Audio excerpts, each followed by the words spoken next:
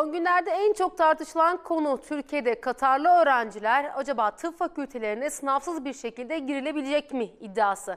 Buna ilişkin aslında detayları paylaşmadan önce gelin sizlerle bazı rakamları paylaşalım.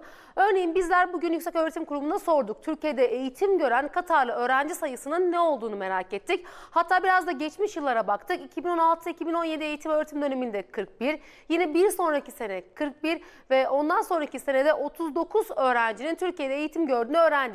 Hali hazırda son verilere göre 2019-2020 itibariyle toplamda 41 Katarlı öğrenci Türkiye'de eğitim görmeye devam ediyor. Şimdi hemen burada protokole bakmakta fayda var. Aslında protokolün adı üstünde.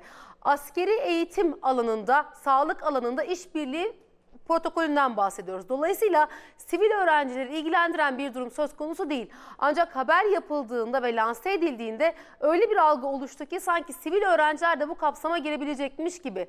Öncelikle şunu altını çizelim. Eğer ki bir askeri eğitim söz konusu olacaksa, bu kişi bir askeri personelse aslında Türkiye'de gelebilecekleri tek kurum Sağlık Bilimleri Üniversitesi. Eskiden Gülhane'ydi ama darbe girişimiyle birlikte tüm bu eğitim hakları Sağlık Bilimleri Üniversitesi'ne devredildi. Şu anda 195 öğrenci var Sağlık Bilimleri Üniversitesi'nde. En dikkat çeken hususa şu aslında hiç Katarlı öğrenci yok. Henüz gelmiş değiller. Bu kapsamda hemen şunu da altın çizmekte fayda var. Bir öğrenci nasıl oluyor da Türkiye'ye geliyor? Askeri eğitim diyelim, askeri sağlık alanı diyelim. Bu kapsamda öncelikle Milli Savunma Bakanlığı Gülhane'ye eski adıyla yeni adıyla Sağlık Bilimleri Üniversitesi'ne soruyor. Diyelim ki Ürdün'den bir öğrenci gelecek. Kontenjanınız var mı diyor. Hemen Sağlık Bilimleri Üniversitesi kontenjanlarına bakıyor. Yabancı öğrenci kontenjanına bakıyor. Varsa kabul ediyor ve bu kapsamda önce Ürdün'de bir sınav gerçekleştiriliyor. Sınav sonucunda bir eleme yapılıyor ve o ülkenin, o hükümetin belirlemiş olduğu, seçmiş olduğu, elediği isim Türkiye'ye bildiriliyor ve o öğrenci misafir olarak Türkiye'ye geliyor.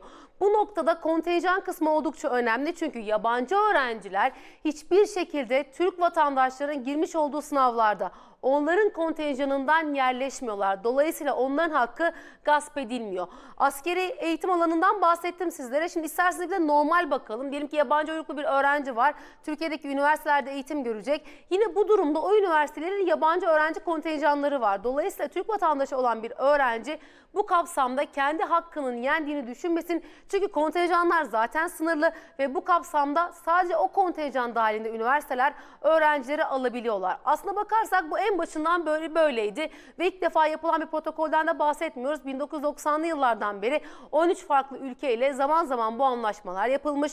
Kimi zaman bir, kimi zaman beş öğrenci olmak üzere Türkiye öğrenciler gönderilmiş, misafir edilmiş ve mezun edilmiş. Hatta bunun en yakın örneğini bizler Somali'de görüyoruz. Çünkü Somali'ye kurmuş olduğumuz üniversiteler sayesinde mezunlar da vermeye başladı Türkiye. Dolayısıyla şunun altını çizmekte fayda var.